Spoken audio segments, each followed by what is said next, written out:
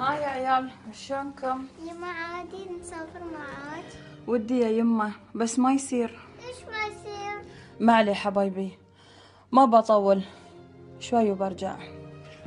بسم الله. ها جاهزة؟ إي جاهزة. يلا ترى علينا من اليوم؟ آخر يوم؟ خلينا نلحق على المطار. يبا ليش أمي تقول ما يصير؟ هم؟ أه، ما علي وراكم مدرسة وامتحانات. خلوها المرة الجاية إن شاء الله. يلا.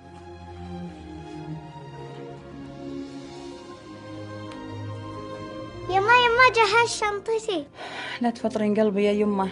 قعدي هني عند إخوانك ومرة ثانية إن شاء الله بوديكم. يلا مع السلامة. الشباب لم يكل عشقه حب قطر وكمين